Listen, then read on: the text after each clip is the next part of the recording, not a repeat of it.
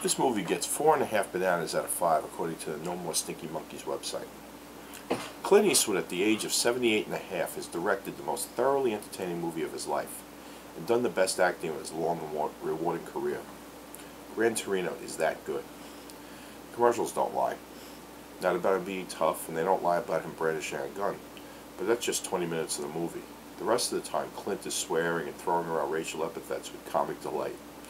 He's a very tired, very cranky old Ford Motor Works retiree who happens to be a big-time bigot living in a rundown Detroit residential community.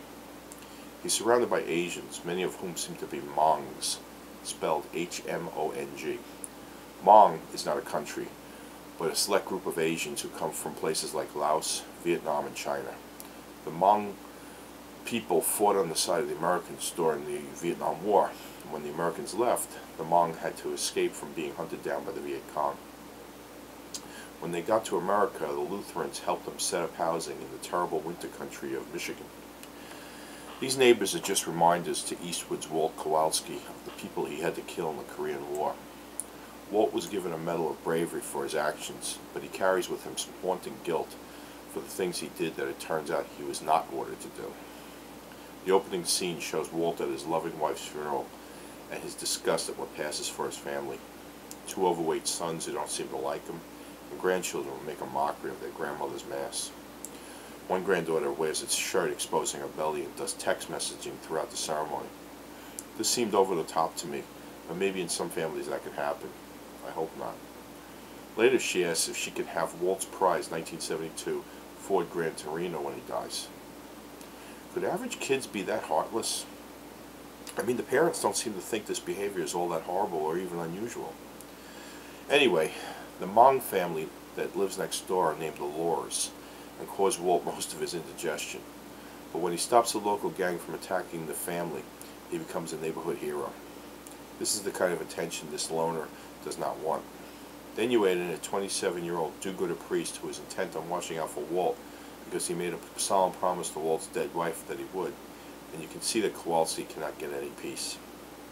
But like Archie Bunker, all that racist facade masks a good heart, and a man so lost inside himself he needs strangers to help him come out. Once he is invited to the Lors' home for a party, he slowly becomes a part of their lives. The teenage daughter, played by Ahney Her, takes a special interest in him and patiently explains her family's culture. One funny scene has Walt sitting at the kitchen table with a bunch of older Hmong women happily shoveling food on his plate. Apparently, Walt is not too racist around the ladies, and he certainly enjoys Hmong cooking. But his relationship with the teenage son of the family, Thao, which both makes up and gives the movie its heart. Thao, played by Bee Vang, at first seems slow, but he's only quiet and shy, and without a male influence is stuck doing what they consider female chores like dishes and gardening. After 50 years of building Fords, Walt is disgusted by his own sons working for foreign car companies, so he has an innate need to show this boy how to be a man. The script was written by a first-timer named Nick Schenk, and while it has some clunky moments, it usually hits its target with great aim. Some of the racist dialogue rings true, and sometimes it seems forced and hollow. But when Clint is mingling with the Hmong people, and he calls them names, you laugh at the sheer nerve of him. Trying to get Thao to man up and ask a beautiful young girl for a date, Walt calls the girl Yum Yum, and the three boys who are after her, Ding Dong, Click Clack, and Charlie Chan. Clint was always a huge movie star, but his acting was always admittedly kind of stiff, at least until he made Unforgiven in 1992. And since then has improved with every movie. I thought he was great in The Line of Fire, but here he blows the doors off that performance. I don't care about Oscars, but it would be a nice star in his tree if he finished up his acting career with one for this role. Kind of like when John Wayne won for True Grit. Two side notes. While talking to a friend at work today, Big Tom, we discussed how in the late 70s and early 80s the two biggest movie stars in the world were Clinton and Burt Reynolds. Some loved one, some loved the other. Some like me thought they were both great. But Big Tom said that in high school back then he told his friends, you wait and see. 20 years from now, Clint will still be big and Burt will fall by the wayside. Boy, was he ever right. And the biggest reason this happened is that Clint stayed true to himself. He got old gracefully and didn't bother with plastic surgery. And Burt, well, you know what Burt looks like. Finally, The Barber. Clint directs this movie with such ease that two hours fly by.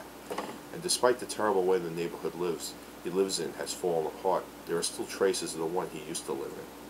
His barber represents that forgotten past, and is played by John Carroll Lynch. Lynch played Frances McDormand's husband in Fargo, the one who tried to get a stamp made from his painting. He's a good character actor, but there is a link that exists between him and Clint that people may not have realized. Lynch played Arthur Leigh Allen in Zodiac, the man they finally arrested as the Zodiac Killer. And Clint played the detective who goes after the Zodiac Killer in the first Dirty Harry movie, but in that film they call him the Scorpio Killer. So, do you feel lucky, punk? From the Freditor.